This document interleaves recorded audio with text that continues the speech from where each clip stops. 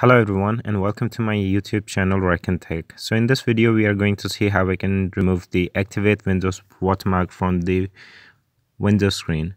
So there are two guides and we'll follow both of them. For the guide one, press Windows R in your keyboard or you can just go to your search and type run and then click enter. On the open, uh, you need to write regedit, R-E-G-E-D-I-T and then you'll press OK. So it will ask for a pop-up screen and you need to accept it. After that, you will find registry editor. Uh, let me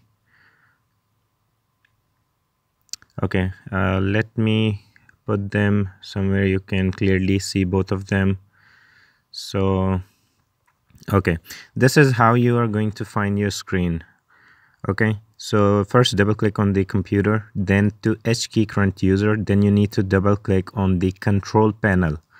So now you need to double click on the desktop.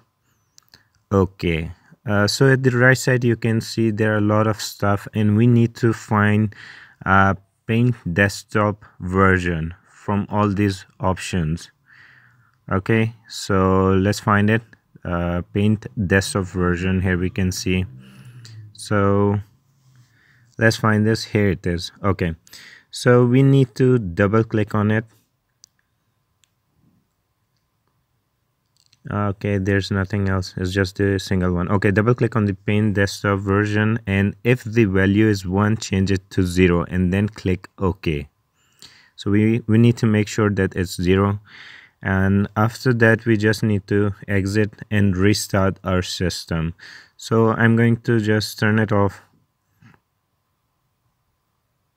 okay uh, now after the reboot we can see there's no watermark. Okay for the guide two um, i'm going to follow this on a on another system.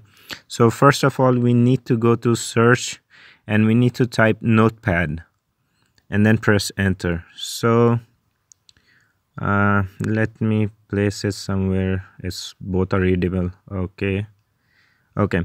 So now we are uh, we need to copy paste few lines and you can find this in the video description.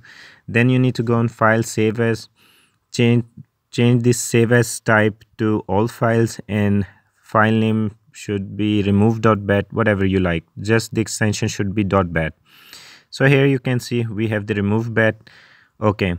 So what we need to do now is right click on this file run as ad as administrator and that's it. We need to reboot our system restart it again and we'll see the effects. Okay it has been removed. Leave a like if you find this video helping. Subscribe to this channel for informative content. We'll see you next time